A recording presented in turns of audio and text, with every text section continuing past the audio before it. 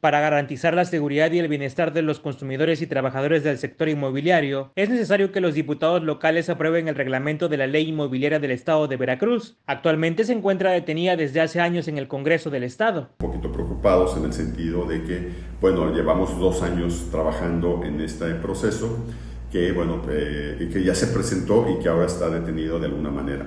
Sí es importantísimo tener esta ley, eh, hay 22 estados de la República que la tienen. La ley inmobiliaria es importante porque establece regulaciones para garantizar transacciones justas y seguras, con un marco legal para resolver disputas entre propietarios, inquilinos y otros actores del sector. Además, esta ley evitará las estafas, ya que los profesionales inmobiliarios deberán contar con una licencia para ejercer su profesión. Manejamos información sumamente confidencial y hoy las personas eh, que se dedican a esto, muchos no cumplen con los procesos, con sus avisos de privacidad, no cumplen con sus procesos de seguridad, no cumplen con sus procesos ante la Profeco. Y bueno, este, estamos hablando que con esto estamos protegiendo al consumidor final. Asociaciones de profesionales inmobiliarios gestionan que antes de concluir el periodo actual, la ley quede dictaminada y aprobada para que entre en vigor este mismo año. Para Mega Noticias, Adrián Martí.